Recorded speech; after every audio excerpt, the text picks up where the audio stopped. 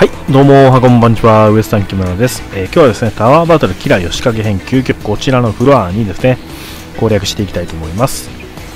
えーパーティーとステータスはご覧の通りです。では、BT 見ていきましょう。まずはリーダーというか、短期ですね、赤尻。えーゼロスマ、イエス、アイアム、大切な心がけ、本能をつけてます。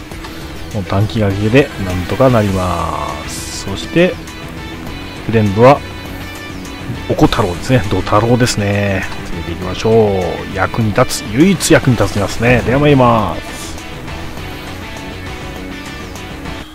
おこ太郎は役に立ってくれます。さあ、いきなり仕掛けられるが、どうなる？あ、リンクスキル。おっとやられてしまったおこ太郎おこ太郎使いたかったのにやられてしまった。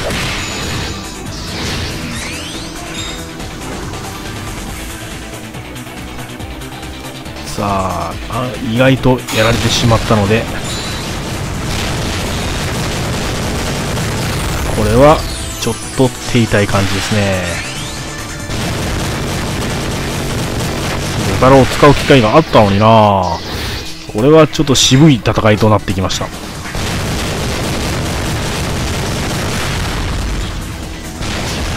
渋い戦いにを強いられる感じです。さあ第2ラウンド。ここは素直に。倒しておきましょう。そういえばいきなり先生が来たんですね。忘れておりました。うーん先生は来なかったけど。えー、一応は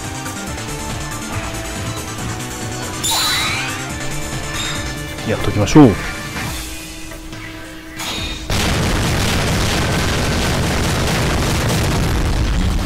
CS でねちょっと強くしておきましょう。さ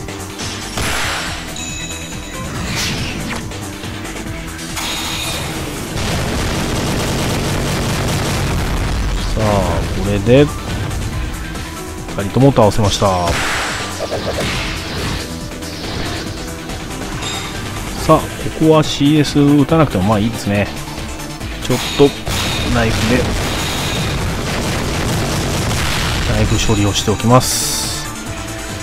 なんとかね、えー倒されないようにはしたいですからナイフ処理だけはしておきましょう。そしてえー、っと CS を打っておきます。相手行動します。伸びます。そしてまた伸ばしていきます。そして倒し切れましたね。一番気になってたものがやつがねアレッシーがね倒せたんで問題なくいけるでしょう。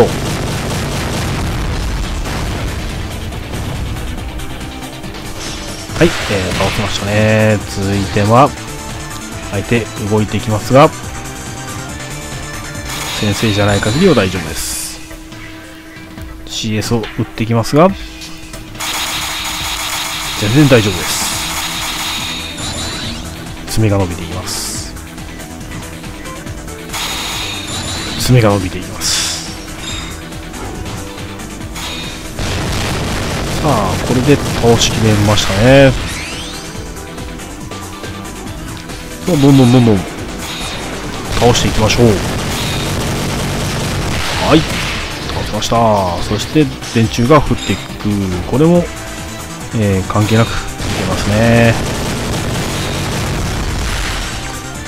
さああとはうまいこと処理をしながら走っていきましょう。うんと電柱は当たらなかったですね。よかったです。さあ先にね倒しておきたいのはここのラウンドで倒しておきたいのはカウンターを仕掛けてくるね、えー、リサリサ先生です。リサリサ先生を先にきちんと処理しておきます。いや処理する前にシーザーが怖いですね。シーザーがゲージをいやまあいいでしょう。リサリサ先生の方が怖い。リサリサ先生の方が怖いのでよくやっておきましょう。そして、えー溜まってきたので CS をしておきましょう。そして降ってきた。シーザーが仕掛けてくるが大丈夫です。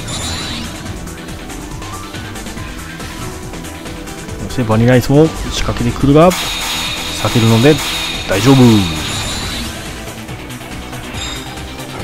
おっとこんなところにいると？あ大丈夫ですね。こカウンターはしてこないですね。よかったです。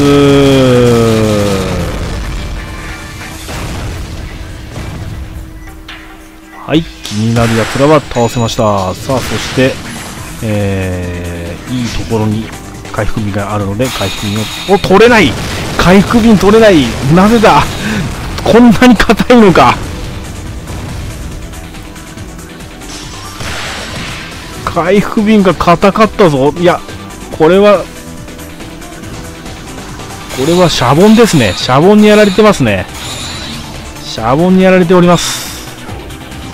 えー、用心深くする必要もないですね。用心深くする必要もないでしょう。まずはシーザーを先に倒しておきます。ゲージを取られるのでシーザーを先に倒しておきましょう。